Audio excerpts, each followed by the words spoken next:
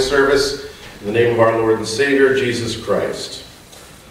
Uh, several announcements. Um, one, as you can probably hear, I'm recovering from a cold, so I will not be shaking hands, and we will also be canceling the adult um, Sunday school class today.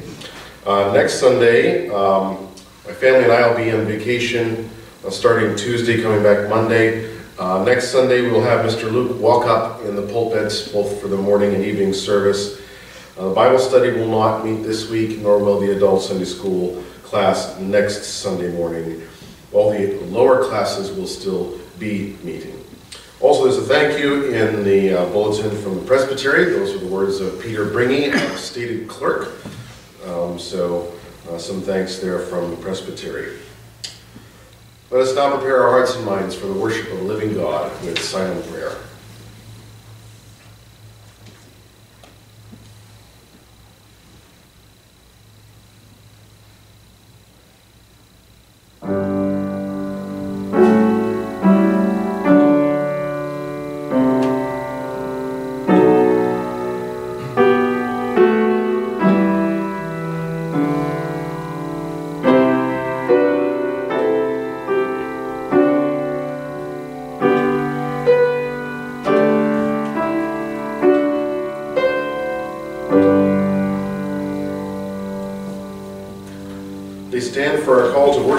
Psalm 32. Blessed is the one whose transgression is forgiven, whose sin is covered. Blessed is the man against whom the Lord counts no iniquity, and in whose spirit there is no deceit. In the grace of our Lord Jesus Christ, the love of God the Father, and the fellowship of the Holy Spirit be present in our midst this morning. Please turn with me to number 305. Arise, my soul, arise. 305.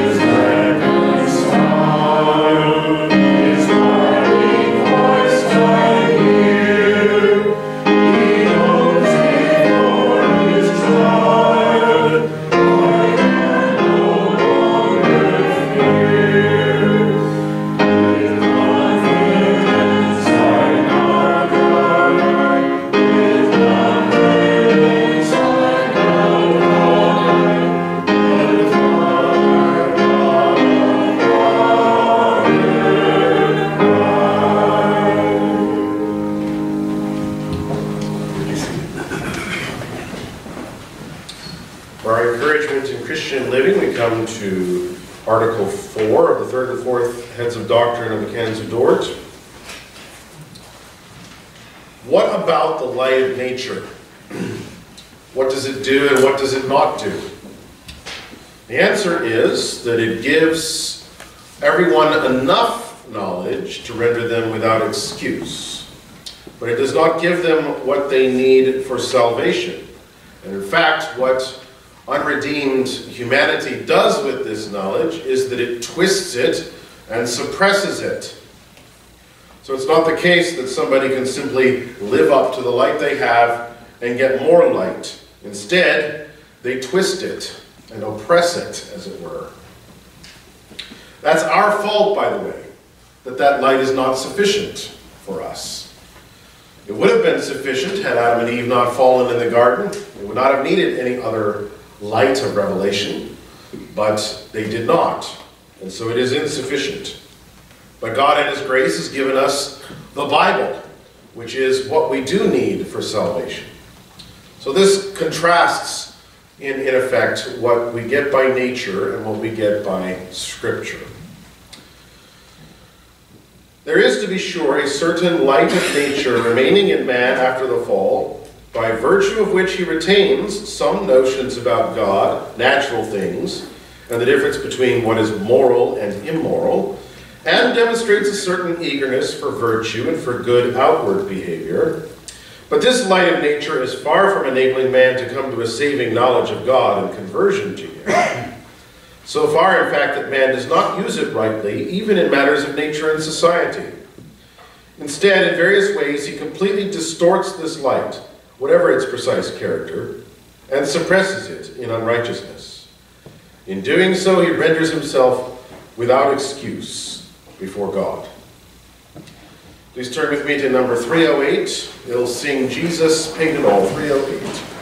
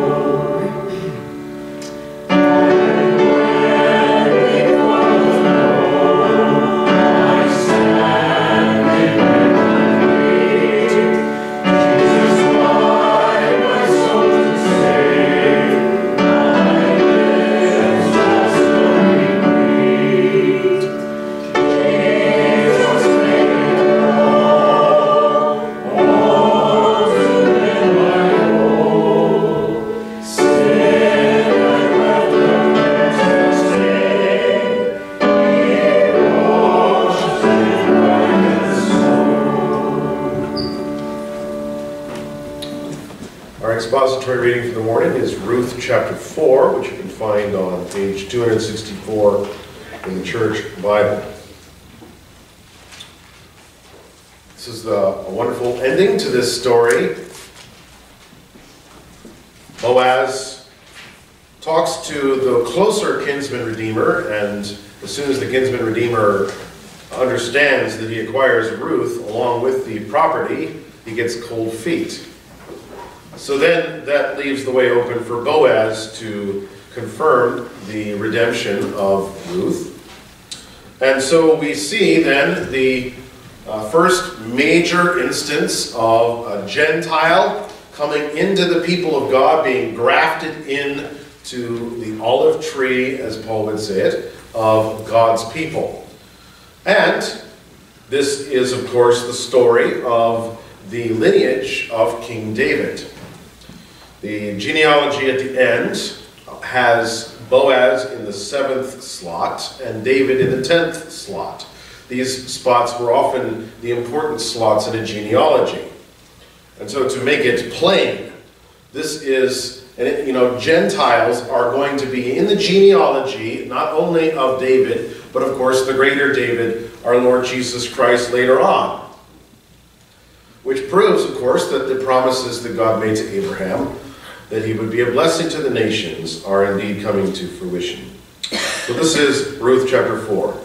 Now Boaz had gone up to the gate and sat down there, and behold, the Redeemer of whom Boaz had spoken came by. So Boaz said, Turn aside, friend, sit down here.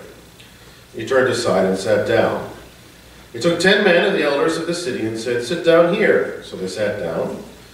They said to the Redeemer, Naomi, who has come back from the country of Moab, is selling the parcel of land that belonged to our relative Elimelech. So I thought I would tell you of it, and say, Buy it in the presence of those sitting here, and in the presence of the elders of my people. If you will redeem it, redeem it. But if you will not, tell me, that I may know, for there is no one besides you to redeem it, and I come after you. He said, I will redeem it. Then Boaz said, The day you buy the field from the hand of Naomi, you also acquire Ruth the Moabite the widow of the dead, in order to perpetuate the name of the dead in his inheritance. Then the Redeemer said, I cannot redeem it for myself, lest I impair my own inheritance. Take my right of redemption yourself, for I cannot redeem it. Now, this was the custom in former times in Israel concerning redeeming and exchanging. To confirm a transaction, the one drew off his sandal and gave it to the other. This was the manner of attesting in Israel. So when the Redeemer said to Boaz, Buy it for yourself, he drew off his sandal. Then Boaz said to the elders and all the people, You are witnesses this day that I have bought from the hand of Naomi all that belonged to Elimelech, and all that belonged to Chilion and to Machlon. Also Ruth the Moabite, the widow of Machlon, I have bought to be my wife, to perpetuate the name of the dead in his inheritance, that the name of the dead may not be cut off from among his brothers and from the gate of his native place. You are witnesses this day. Then all the people who were at the gate and the elders said, We are witnesses. May the Lord make the woman who is coming into your house like Rachel and Leah, who together build up the house of Israel. May you act worthily in Ephrathah and be renowned in Bethlehem. And may your house be like the house of Perez, whom Tamar bore to Judah, because of the offspring that the Lord will give you by this young woman. So Boaz took Ruth, and she became his wife. He went in to her, the Lord gave her conception, and she bore a son. And the women said to Naomi, Blessed be the Lord, who has not left you this day without a redeemer. And may his name be renowned in Israel. He shall be to you a restorer of life and a nourisher of your old age. For your daughter-in-law who loves you, who is more to you than seven sons, has given birth to him. Then Naomi took the child and laid him on her lap and became his nurse. The women of the neighborhood gave him a name, saying, A son has been born to Naomi. They named him Obed.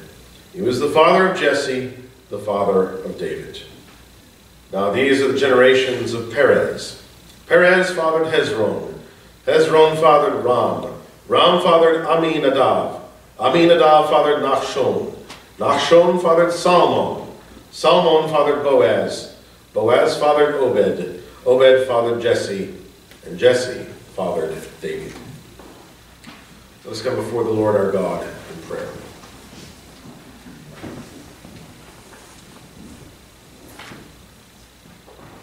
O Lord God, you who are perfectly holy, righteous and just. We acknowledge before you your many perfections and praise you for them. We give you thanks for them.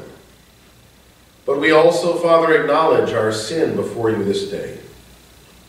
we have sinned in what we have thought, what we have said, what we have done, and how we have omitted to do what you have commanded, how we have done what you have forbidden, how we have not had love in our hearts towards you and towards our neighbors.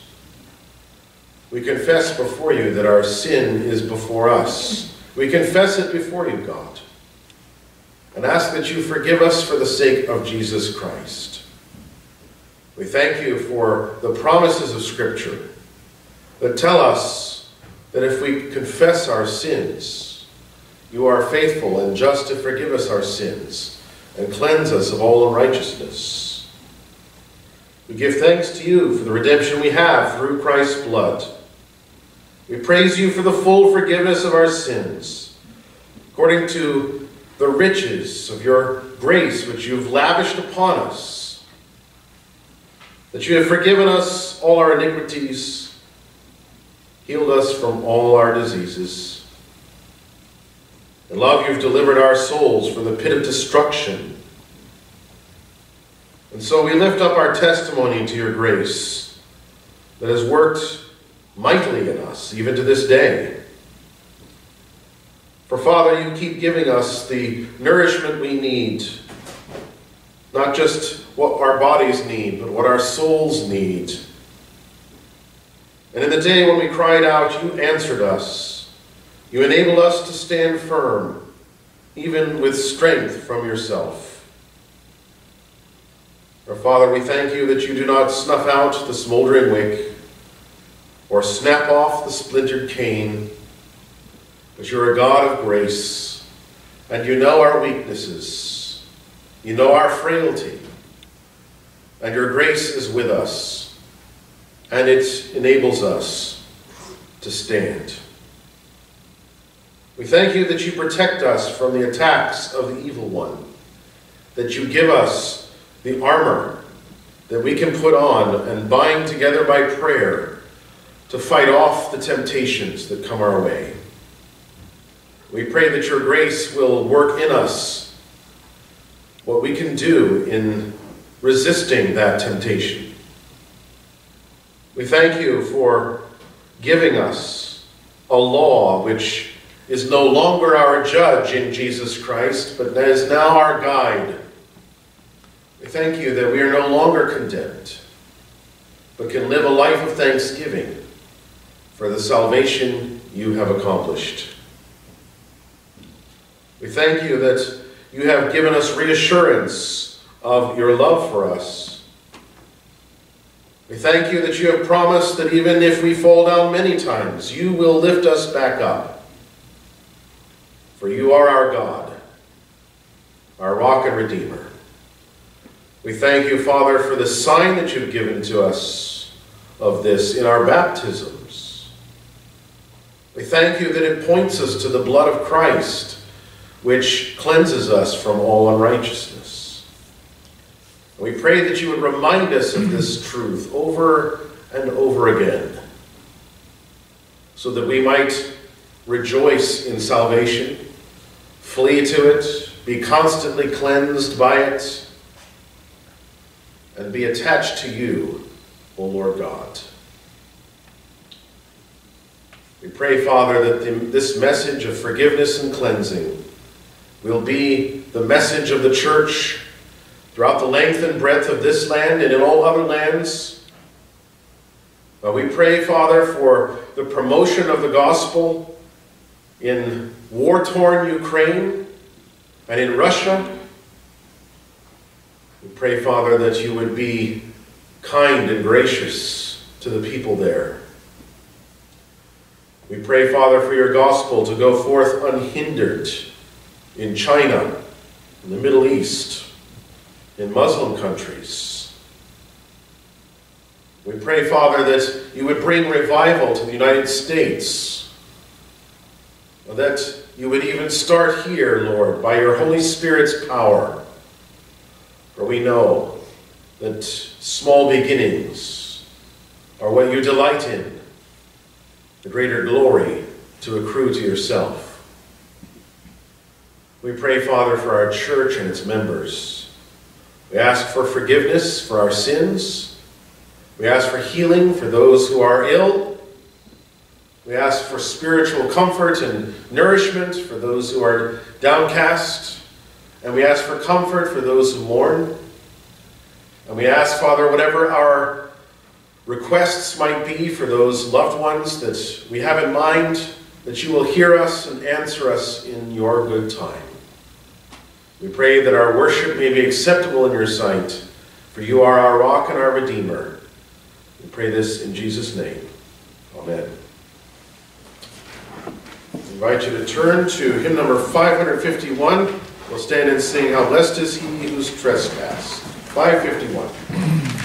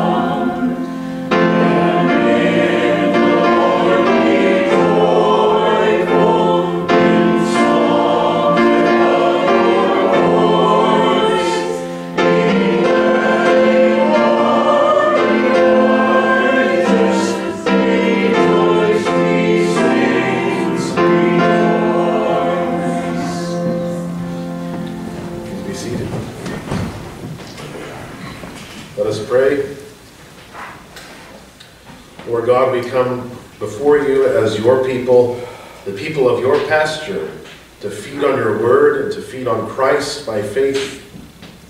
We pray that you will sustain us and nourish us in our souls by the power of the Holy Spirit for the sake of Jesus Christ. For it is in his name we pray these things. Amen. I invite you to turn to Exodus chapter 30. This is page 84 in the Church Bible. Well, looking at verses 17 through 21, and then at a single verse in chapter 38.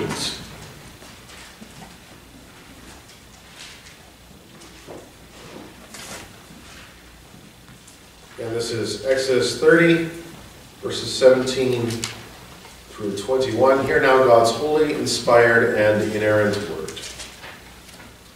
The Lord said to Moses, We shall also make a basin of bronze, with its stand of bronze for washing. We shall put it between the tent of meeting and the altar, and we shall put water in it, with which Aaron and his sons shall wash their hands and their feet. When they go into the tent of meeting, or when they come near the altar to minister, to burn a food offering to the Lord, they shall wash with water, so that they may not die. They shall wash their hands and their feet, so that they may not die. It shall be a statute forever to them, even to him and to his offspring throughout their generations. And then chapter 38, verse 8. He made the basin of bronze and its stand of bronze from the mirrors of the ministering women who ministered in the entrance of the tent of meeting. Medical doctors are rather well known for being obsessive compulsive about washing their hands. They do it many times per day and with good reason. What we know about germs and viruses, bacteria and microorganisms, is quite enough justification for this practice, especially in a hospital. We want our doctors to be obsessed with cleanliness because if they aren't, disease is waiting just around the corner.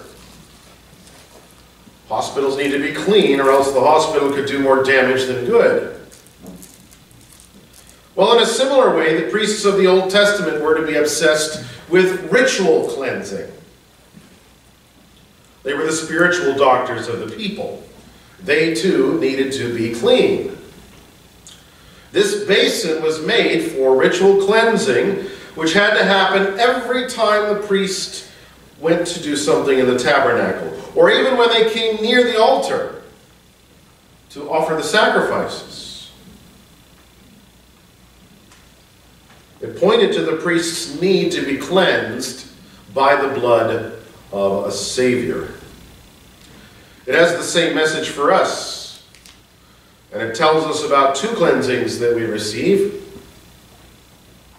both of which are symbolized and sealed by baptism a once for all cleansing and a continual cleansing. This is a life or death message for us as it was for the priests.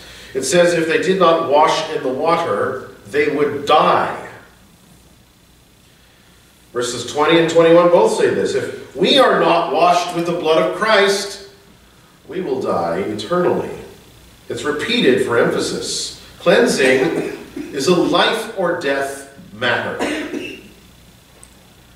Now, this basin was located between the altar and the tabernacle, according to verse 18. Why not between the entrance and the altar? Why between the altar and the tabernacle? Well, the reason it is not located between the entrance and the altar is that it was not for the people to be cleansed. The people were cleansed by the blood of the animals on the altar. Although even there, it was only insofar as that blood looked forward to the blood of Christ being shed that it had any effect. The priests mediate between God and the people. That's why the basin is located between the tabernacle and the altar. The place where priests start is the place of cleansing. If they went into the tabernacle, they needed cleansing. If they went the other direction to the altar, they needed cleansing. The priests were themselves sinners, weren't they? They needed cleansing in major ways, two major ways to be precise. They needed a once for all cleansing at the beginning of their ministry. And they needed constant everyday cleansing as well. We need this too, which is why this text is so very relevant to us. The first cleansing needed is the once for all cleansing at the beginning of their ministry. In chapter 29, when Aaron and his sons were consecrated for the ministry of priesthood, it all started with a ritual cleansing, as you can see in 29 verse 4. That symbolized the need for regeneration. Regeneration is a word that theologians use to describe the new birth, being born again, as Jesus puts it in John 3. Or as Ezekiel would say, we need our hearts of stone removed and hearts of flesh put in their place.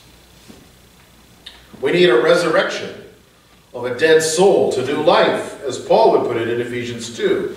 Whether you call it new birth, or regeneration, or the resurrection of the soul, it all means the same thing. New spiritual life. And the Holy Spirit is the one who accomplishes that. This great benefit to us. Jesus says it very clearly in John 3 comparing the Holy Spirit to the wind. And especially the fact that you don't see the wind, you see what it does. So also you don't see the Holy Spirit, but you can certainly see what he does. We do not decide for Christ and therefore regenerate ourselves. The Holy Spirit moves in us before we react with faith. So, this regeneration is related to our sin in the following way the power of the guilt of our sin has to be washed away in regeneration. That's done by the blood of Christ. So, the Holy Spirit applies that blood of Christ to our sin stained soul and washes us clean through that blood of Jesus Christ. the question for most for us is how do we know whether that has happened or not? Take the question of children, for example. It's easy to mistake the state of our children. And there's two main mistakes that we make. The first is to assume that they are not regenerated. Children can be regenerated before they are even born, as the example of John the Baptist proves to us. He leaped in the womb at the approach of his Savior. And David says to the Lord that he trusted in the Lord even when he was still nursing. Children can often never know a day when they don't know Jesus. In which case, the Christian life for them looks like a continual nurturing and growing up in faith. If we then require some time stamped date from them concerning a conversion, we will actually teach them to doubt what they already have. And That is not wise. But it is equally wise, unwise I should say, it is equally unwise to assume that our children are regenerated. Not all children are regenerated from the womb, as we well know. Some grow up into a state of rebellion. And sadly, just because parents are Christians doesn't mean their children are Christians. Yes, God very often works through the covenant continuity of families, but not always. The question of what we should do, however, fortunately, is the same in either case. Tell our children the gospel. Fortunately for us, the gospel is what Christians need and it is what non Christians need. They both need the same thing. So fortunately, we can tell them the good news while not making an assumption either way about the state of our children, at least not at the beginning. It is for the regenerate and the non regenerate. And baptism preaches that same gospel, which is one of the main reasons we baptize our children. Baptism is a visible sermon that preaches the power of the blood of Christ to cleanse us once for all from our sin. It is a proof that God means what he says.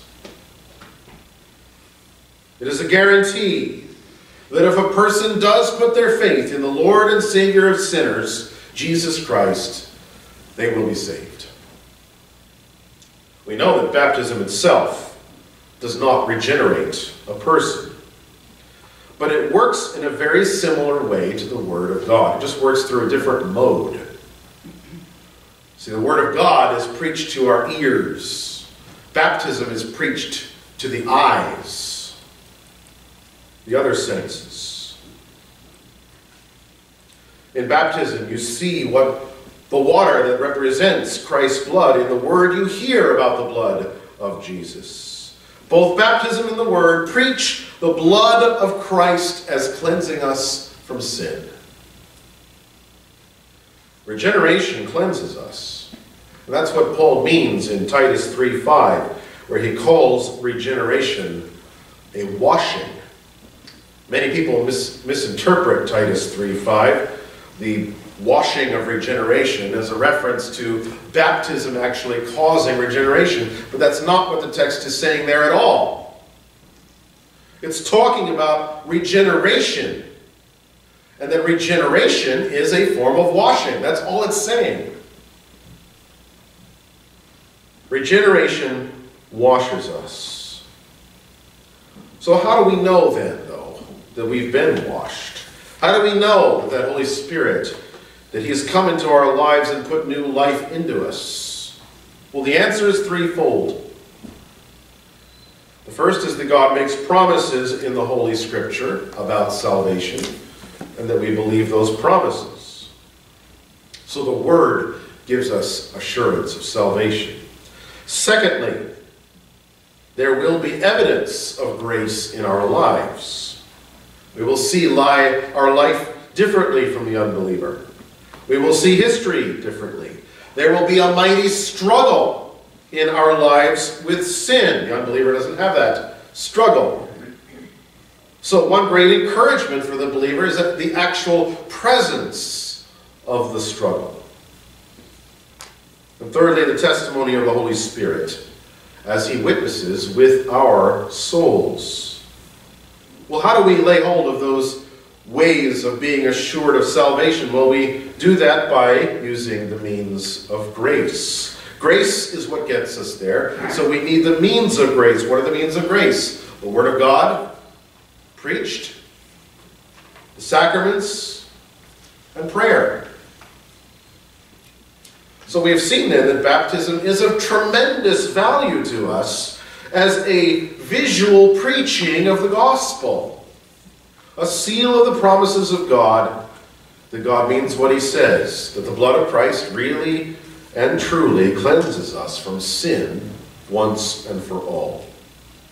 But you see, the beginning of the Christian life is not the only time of life for which baptism has value. Baptism can help us all the way through life. Yes, it's only administered once. But that doesn't mean that its effect is limited to that one time. We can see that from the text in verse 20. Whenever they go to the tent of meeting, whenever they come near the altar to minister, it says when they go, it means whenever. Implying that they would go many times to that basin. The washing was for them, it was there every time for them. And so also baptism is there for us, all through our walk in life, not just at the beginning of the Christian walk. Martin Luther knew this truth well. Oftentimes, when temptation came his way, he would respond by saying, I have been baptized. So, by remembering that visual promise of water pointing to the blood of Christ, Luther would remember the cleansing power of the blood of Christ.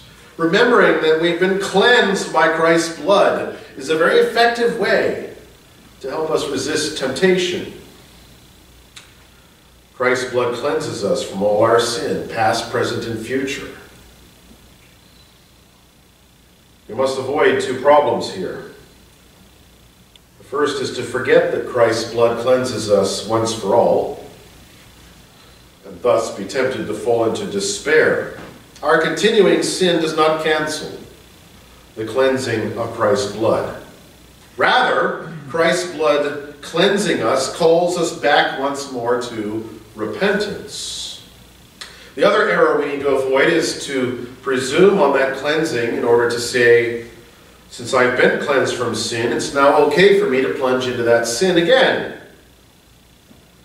Well, the reason that is an error is because is precisely because Christ's blood cleanses us from the sin. If we've been cleansed, why would we want to get dirty again with that?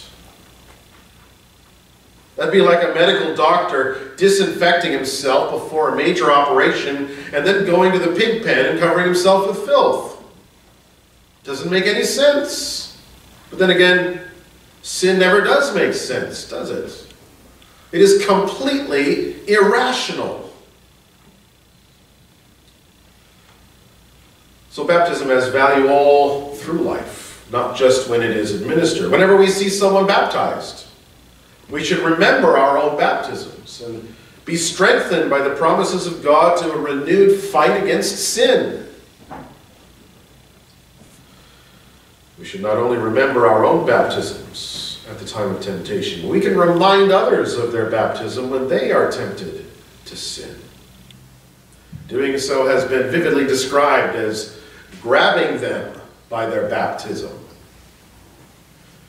Baptized people have been set apart, set apart from the world. We need a reminder of that fact. So both of these cleansing aspects, the once for all cleansing and the continual cleansing, they all point us to our Savior Jesus. He was baptized too. Now, isn't that odd? He had no sin that he needed to be cleansed of. Why was he baptized? You ever wondered that question? Why was Jesus baptized? Well, you know, Jesus says, because of course John the Baptist had the same question. He said, I need to be baptized by you. Why are you coming to me? And Jesus said, Suffer it to happen now to fulfill all righteousness. That's a very broad concept. Most theologians agree that Jesus' baptism means that he was identifying himself with his people. He was entering into their state so that he could bear their sins. Remember that baptism also has a judgment side to it. When you remember Noah's flood, which Peter calls a type of baptism, or the Red Sea, where Paul tells us it was a baptism into Moses, there is a judgment against sin that happens in both of those cases. In the New Testament, Jesus calls his own death a baptism. Remember when those disciples wanted to sit at God's right left hand? He says, Can you be baptized with the baptism I am going to be baptized with? He wasn't talking about the Jordan River. He's talking about his death. His death was a baptism. In what sense? In taking on the judgment for sin. He received the judgment so that we would not. He took on himself the judgment side of baptism so that we could receive the grace side. We receive grace, of course, for many reasons in God's good plan. One of them is so that we can serve others. In John 13, right before Jesus was betrayed into the hands of sinners, he took a basin, poured water into the basin, and began to wash his disciples' feet. Remember, the priests had to wash their feet as well as their hands. And that was a matter of life and death. And remember what Peter said? He said, I can't be baptized. I can't be washed by you. See, there, there's a resistance there in the human psyche to, to recognizing the need that we have to be washed. We don't want to think that of ourselves. I'm not that bad. Jesus says, if I don't wash you, you have no portion in me.